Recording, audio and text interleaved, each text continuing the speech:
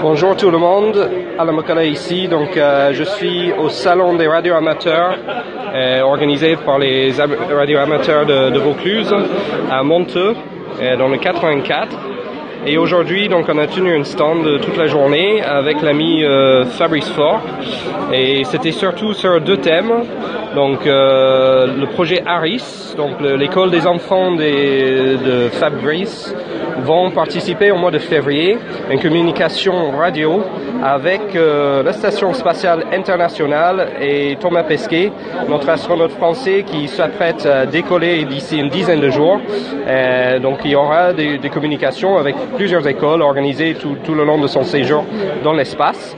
Et ici, ce qui est assez sympa, donc, c'est que Fabrice nous a préparé une petite expérience, une petite démonstration euh, par rapport à la transmission de, la vidéo de l'espace, parce qu'on va voir non seulement le son, mais également des images de Thomas Pesquet ce jour-là. Donc ici, on voit donc un Raspberry Pi qui sert d'émetteur.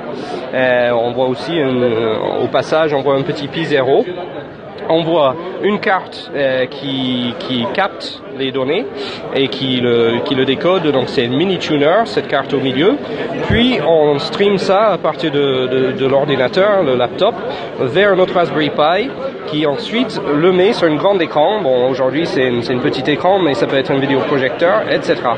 Donc euh, ça pour l'ARIS, euh, on est on est très content et on est très excité. On fait plein de préparations euh, pour être prêt pour le, mois de février. Donc ensuite, on a aussi euh, on a le projet basé sur le Raspberry Pi, euh, ce qui, ce qui s'appelle AstroPi, qui a été déjà mis en place lors du séjour de, Thomas Peake, euh, Tim, Tim pardon, l'astronaute britannique de l'ESA.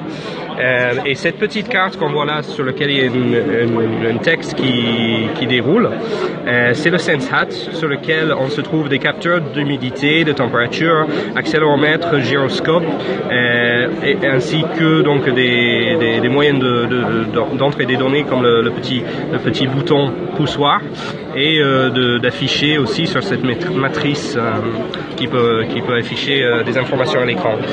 Donc on, a, on a rencontré plein de personnes aujourd'hui, des jeunes et des moins jeunes, des passionnés et on, on va continuer à, à faire parler de, de tout ce qu'on peut faire avec ra- radio amateur, euh, le, le monde du radio amateur et euh, aussi avec le Raspberry Pi dans ce milieu-là. Bon après-midi à tous.